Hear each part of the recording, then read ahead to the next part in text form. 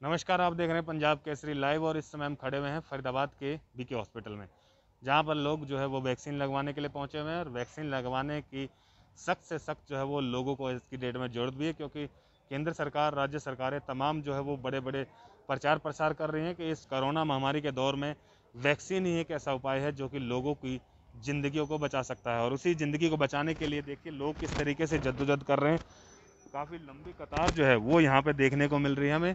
लगभग कई घंटों से पिछले कई घंटों से लोग जो है वो यहाँ पे पहुँचे हुए हैं इस वैक्सीनेशन सेंटर पर। जिस तरीके से स्वास्थ्य विभाग की टीमें जो है वो दावे करती हैं उन दावों की जो है वो ज़मीनी हकीकत क्या है? एक बार हम लोगों से जानने की कोशिश ज़रूर करेंगे कि आखिर कितने समय से ये लोग यहाँ पे खड़े हैं कितनी देर से लोग इंतज़ार कर रहे हैं। क्या नाम भी आपका? पुनीत। पुनीत भाई कितनी देर होगी? हो गए तीन चार चार घंटे। चार घंटे। अच्छा धूप में ही खड़े हो जाते हैं। तरफ़ से धूप में वहाँ पहले लाइन लगा फिर यहाँ लाइन लगा। अच्छा पहले क्या टेस्ट करवा कोरोना टेस्ट करवा हाँ पहले उधर कोरोना टेस्ट कराए अच्छा उसमें भी टाइम लगा? उसमें भी टाइम लगा फिर यहाँ भी लाइन लाइन लगा चार पाँच घंटे हो गए। लेकिन केंद्र सरकारें तो कह रही हैं कि लोगों को घरों में जा करके गाड़ियों में बैठा करके वैक्सीन लगाई जाती है। ऐसा कुछ नहीं है। ऐसा कुछ नहीं है। आपका नाम भी है अनीश। कितनी देर होगी आपको? ढाई तीन घंटे हो गए। ढाई तीन घंटे आप कहाँ से आए हो? यहीं पास में चार नंबर कॉलोनी है वहाँ। चार नंबर से। कोरोना टेस्ट करवा लिया हाँ कोरोना का लेकिन किस तरीके के यहाँ पे क्या दिक्कत है? लाइन धीरे चल रही है या मतलब समय पे नहीं चल रही? क्या हो रहा है? वही मतलब बीच में कोई भी आता है घुसता सही है नहीं है। सिस्टम सही यहाँ सिस्टम सही नहीं है। अच्छा। जहाँ पहचान के आ रहे हैं उनको घुसा ले रहे हैं। अच्छा। और वैसे बंदे लाइन में खड़े हैं कुछ पता ही नहीं लाइन बढ़ी नहीं रही है। अच्छा। लाइन बढ़ नहीं रही है। कुछ बच्चे भी आए हैं। अब क्या नाम है गुड़िया आपका? संगीता। अच्छा संग- टेस्ट हाँ जी करवा टेस्ट लिया? करवा लिया। अब वैक्सीन लगवाने आए हाँ जी। क्या कोई टेस्ट वगैरह था क्या कुछ? टेस्ट एक पर्ची देते हैं। अच्छा। हाँ जी।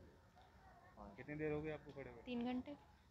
क्या काफ़ी टाइम लग रहा है? तीन घंटे तो ज़्यादा टाइम लग रहा है ना? हाँ जी।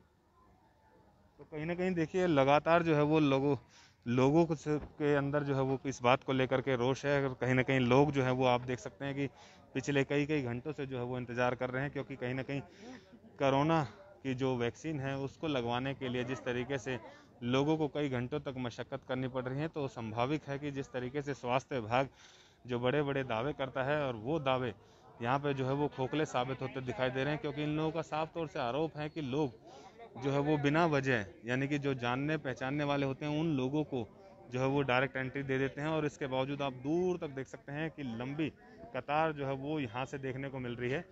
हाँ। देखिए कितनी लंबी लाइन जो है वो यहाँ पे लगी हुई है। आप भी वैक्सीन लगवाने आए हो? क्या बात होगी लाइन में लग रहे? भैया कंपनी तो आए होंगे वापस जा रहे हैं छुट्टी लेकर आए हैं। अच्छा। और क्या भाई अब यहाँ खड़े होने से फ़ायदा तो है नहीं अभी तो आज तो होगा नहीं। अच्छा। वहाँ जाएँगे वहाँ जाएगी ड्यूटी तो लग जाएगी कम से कम कुछ पैसे मिल जाएँगे। कितनी देर होगी भाई दो घंटे हो गए खड़े खड़े। दो घंटे हो गए? गेट पास लेकर आए हम तो कंपनी से अपने। लोग जो है वो दो घंटे से लाइन में खड़े होकर के कहीं ना कहीं कंपनी यहाँ यहाँ रहने से फ़ायदा तो है नहीं। वहाँ जाएँगे थोड़ी नौकरी कर लेंगे और दो घंटे कटेंगे कोई दिक्कत नहीं है कुछ तो पैसे मिलेंगे। यहाँ खड़े हैं, यहाँ तो कोई ना कोई आ जा रहा है, दूसरे को घुसाए जा रहे हैं, घुसाए जा रहे हैं।